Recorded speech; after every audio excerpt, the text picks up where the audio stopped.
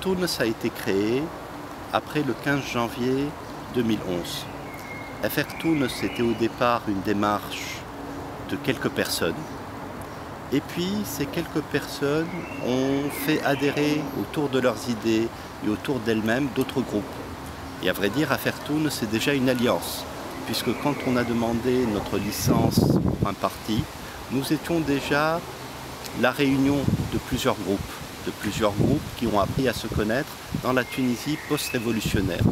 Et c'est ces différents groupes qui ont déposé la demande de parti d'affaires Tunis et c'est ces différents groupes qui aujourd'hui constituent l'encadrement et la direction d'affaires Tunis après que nous ayons obtenu notre autorisation du ministère de l'Intérieur d'exercer en tant que parti politique. Aujourd'hui, Affaires Tunis revendique environ 1500 adhérents.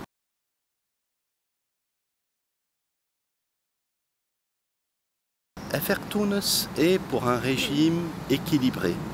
Que veut dire un régime équilibré? Nous sommes pour un régime pour que le pouvoir exécutif soit indépendant, mais qu'il y ait des contre-pouvoirs pour le contrecarrer. Nous sommes pour un régime législatif ou un pouvoir législatif indépendant, mais avec des contre-pouvoirs. Nous sommes pour un régime législatif indépendant et indépendant de tous les pouvoirs, que ce soit indépendant du pouvoir exécutif, législatif, du pouvoir de la presse ou de l'argent. Pour revenir au pouvoir exécutif, différentes solutions s'offrent encore à nous. À vrai dire, quelles que soient les solutions, elles ont des avantages et des inconvénients.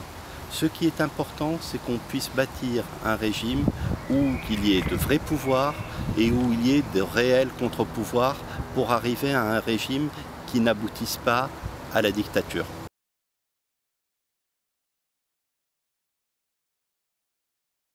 La démocratie est un vaste mot. La démocratie commence par des élections libres. Dieu merci, nous devrions avoir dans les prochains jours des élections libres en Tunisie. Mais la démocratie est bien plus. La démocratie, c'est aussi le respect de la minorité par la majorité. La démocratie, c'est également donner à la majorité la possibilité d'exercer ce pourquoi elle a été élue pendant le laps de temps particulier où elle a été élue. Mais la démocratie aussi, c'est le respect de l'alternance, c'est le respect des échéances. Et donc pour nous, il est très important dans la Tunisie de demain, dans la Tunisie que nous construisons ensemble, qu'il y ait une alternance, qu'il y ait des élections à des intervalles réguliers et que la voix du peuple soit entendue à chaque fois. Et si le pouvoir en place a à nouveau la confiance du peuple, eh ben, c'est tout à fait normal qu'il reprenne pour un nouveau terme si le pouvoir en place n'a plus la confiance du peuple, il faudrait qu'il puisse redonner les rênes du pouvoir exécutif et législatif à d'autres.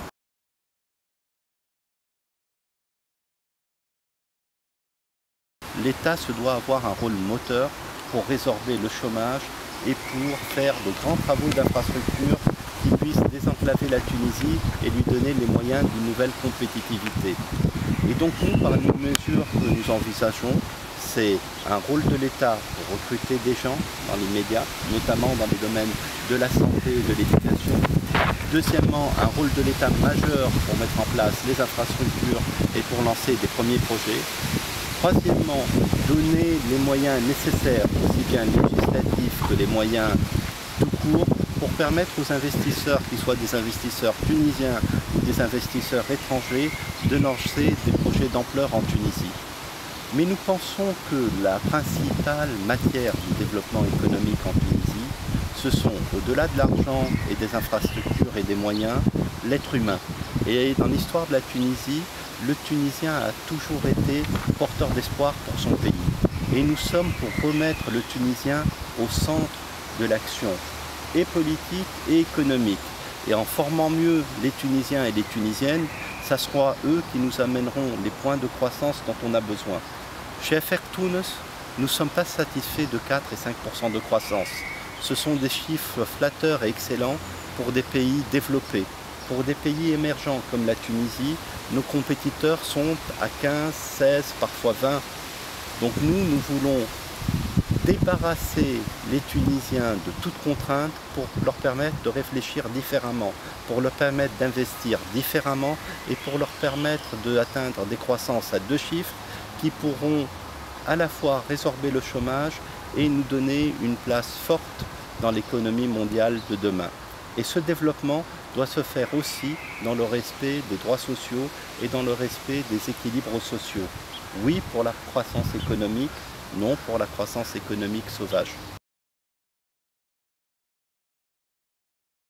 Chez Afertounes, nous pensons qu'il y a une seule catégorie de Tunisiens, avec les mêmes droits et les mêmes devoirs. Que ces Tunisiens habitent en Tunisie ou que ces Tunisiens habitent hors de Tunisie.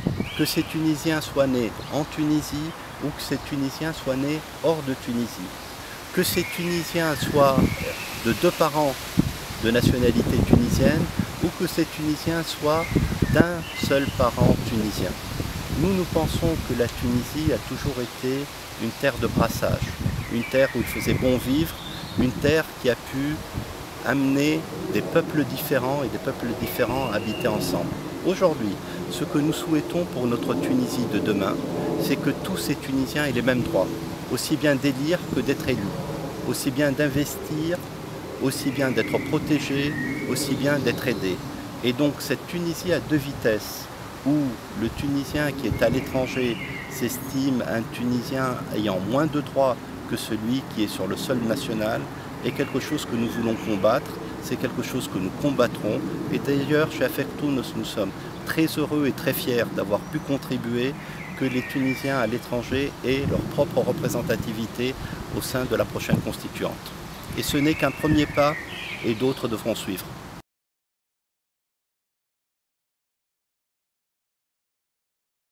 La Tunisie, depuis toujours, a été ce qu'on appelle le centre du monde. Pourquoi? Parce qu'à l'époque des Romains et des Carthaginois, le monde c'était la Méditerranée. Et la Tunisie est au centre de la Méditerranée. Aujourd'hui, on peut également considérer que la Tunisie est le centre du monde, étant donné que la Terre est ronde et qu'il y a plusieurs centres. Cela dit, nous nous pensons chez Afertunes que l'avenir du monde dans les années à venir sera des pôles différents. Un pôle autour des Amériques, un pôle autour de l'Asie, un pôle autour de l'ancien monde, l'Europe et l'Afrique. Nous pensons que la Tunisie peut avoir un rôle de trait d'union entre l'Est et l'Ouest, entre Nord et le Sud. De par sa culture arabe et musulmane, la Tunisie a un trait fédérateur entre l'ensemble des pays de langue arabe et de culture musulmane. De par son positionnement géographique, la Tunisie peut être un trait d'union entre l'Afrique et l'Europe. Et nous avons des relations importantes aussi bien dans le continent africain que dans le continent européen. D'ailleurs, à peu près 10% de la population tunisienne se trouve hors des frontières du pays et un pourcentage très important se trouve en Europe. Donc tout comme on regarde à l'est et à l'ouest, tout comme on regarde au sud, nous regardons également au nord, où il y a un certain nombre de compatriotes, de nos compatriotes qui habitent, où la plupart de nos échanges économiques sont orientés.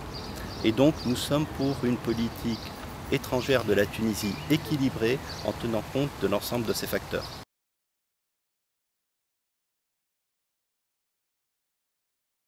J'espère qu'ils ne sont pas divisés à notre égard, parce que nous, nous sommes un parti naissant, un parti avec un certain nombre d'idées, un certain nombre de principes, et nous sommes en train de faire connaître ces idées et ces principes.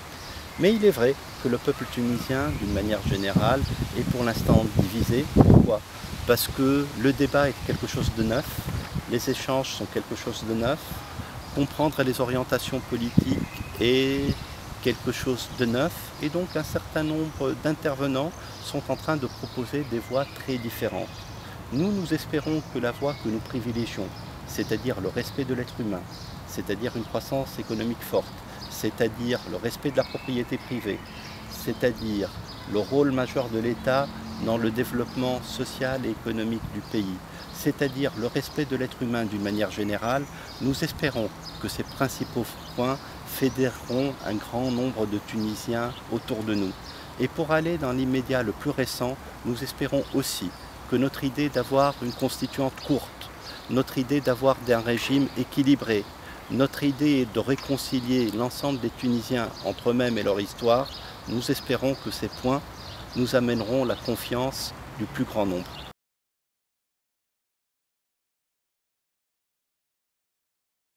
Pour l'instant, notre financement est très modeste. Comme vous le savez peut-être, nous demandons à chacun de nos adhérents de cotiser pour la somme symbolique de 2 dinars tunisiens, l'équivalent d'un euro. Au-delà de cette cotisation symbolique, un certain nombre d'adhérents peuvent faire des, j'allais dire, contributions plus importantes.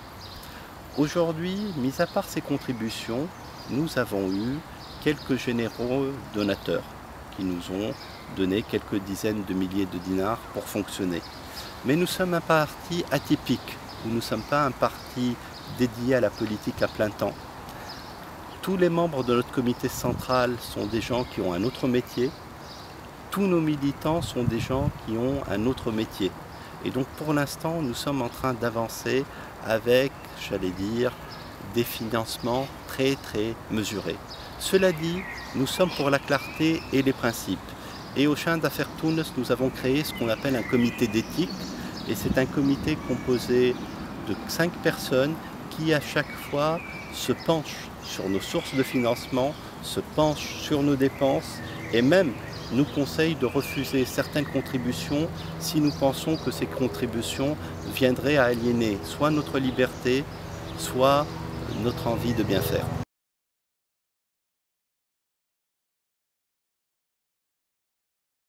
Je peux vous confirmer, c'est que sur les 50 membres du comité central aujourd'hui d'affaires Tournos, nous aucun, aucune personne qui a occupé des responsabilités au sein de l'ancien parti au pouvoir, qu'on appelle communément le RCD. Aujourd'hui, au sein des dirigeants d'affaires Tournos, nous pensons que nous avons même aucune personne qui a pu un jour adhérer au RCD. Cela dit, au sein d'Affaires Tunis, il y a un certain nombre de personnes qui ont eu un rôle associatif dans la Tunisie d'avant le 14 janvier. Nous avons un certain nombre de personnes qui ont eu un rôle municipal au sein de la Tunisie d'avant. L'ensemble de ces personnes l'a fait sans que pour autant elles adhèrent ou elles épousent l'ensemble des idées du RCD.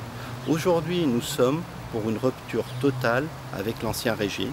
D'ailleurs, nous sommes pour que les symboles de l'ancien régime qui ont trahi le pays ou qui ont volé le pays puissent être jugés, puissent être condamnés si la preuve est faite de leurs erreurs et que nous puissions tourner la page du passé et nous puissions considérer la construction de la Tunisie avec la sérénité et la fraternité. Vous avez cité deux personnes, M. Marwan Mabrouk et M. Kamel El je crois que nous n'avons aucune relation avec ces deux personnes qui ne sont ni des adhérents de notre parti, ni des soutiens financiers de notre parti.